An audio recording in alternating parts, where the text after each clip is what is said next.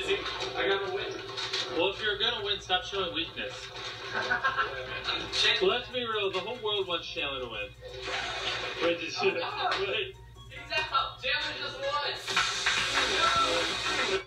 Yes.